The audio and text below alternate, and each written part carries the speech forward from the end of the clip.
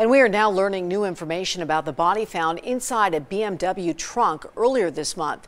Police now confirming the man's ID, Amir Hagi. He has been missing out of Arizona since June, according to police. Hagi's body was found on August 19th. His death has been ruled as a homicide. So far, though, no arrests have been made.